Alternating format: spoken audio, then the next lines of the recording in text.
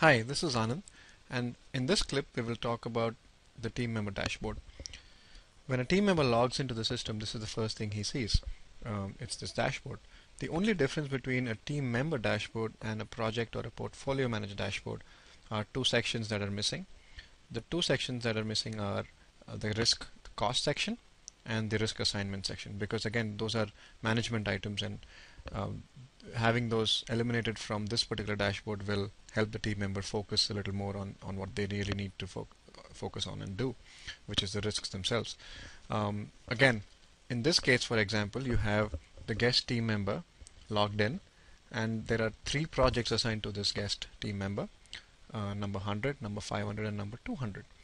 There are some risks that may be assigned to him, and there are obviously others that are assigned to everybody else in the organization. So the whole organizational setup can be seen on the dashboard based on what you select and how you select that. Um, and as far as the My Risk section goes, this will tell exactly what risks in those uh, risks assigned are assigned to this particular team member who is logged in. So if I have to log in and, and look at that, risk 500 is assigned to me and 17 is assigned to me. So I can go in and uh, directly from here take a look at that and then go ahead edit it whichever way I want to and then and hit save and, and get out. This should take me back. We can go back to the dashboard. And apart from that, everything else should, the functionality is absolutely the same as the project manager or portfolio manager dashboard.